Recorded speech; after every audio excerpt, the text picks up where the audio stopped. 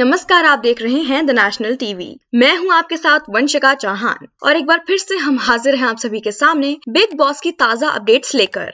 राखी सावंत के पति ने की तेजस्वी प्रकाश के साथ गिरी हुई हरकत। बिग बॉस 15 के घर में टीवी की ड्रामा क्वीन राखी सावंत ने अपने पति रितेश के साथ धांसू एंट्री मारी है। शो में आने के बाद से ही राखी सावंत के पति लगातार सुर्खियों में बने हुए हैं। इसी बीच तेजस्वी प्रकाश ने रितेश पर गंभीर आरोप की बौछार कर दी है। तेजस्वी प्रकाश ने इस बात का खुलासा किया कि रितेश उनके करीब आने की कोशिश कर रहे हैं। बिग बॉस 15 के बीते एपिसोड में तेजस्वी प्रकाश ने ये बात अपने बॉयफ्रेंड करण कुंद्रा को बताई।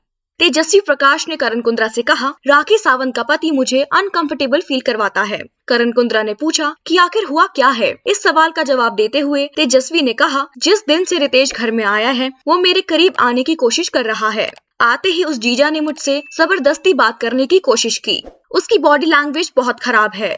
बातचीत के दौरान उसने मेरा हाथ पकड़ने की कोशिश की। तेजस्वी प्रकाश की ये बात सुनकर करण कुंद्रा चौक गए। आगे तेजस्वी प्रकाश ने कहा, राखी सावंत और रितेश जैसे लोग ही संस्कारों की बात करते हैं, जिसके बाद ये लोग गंदी हरकतें करते हैं। ये बात प्रतीक सहजपाल को भी पता है। उस समय प्रतीक सहजपाल किचन में थे, जब रितेश मेरा हाथ पकड़ने की कोशिश कर रहा था। उस समय प्रतीक सहजपाल ने ये सब देख लिया था। हम आशा करते हैं कि आपको हमारे आज की रिपोर्ट पसंद आई होगी। ऐसी ही वीडियोस देखने के लिए सब्सक्राइब कीजिए हमारे चैनल द नेशनल टीवी को। धन्यवाद।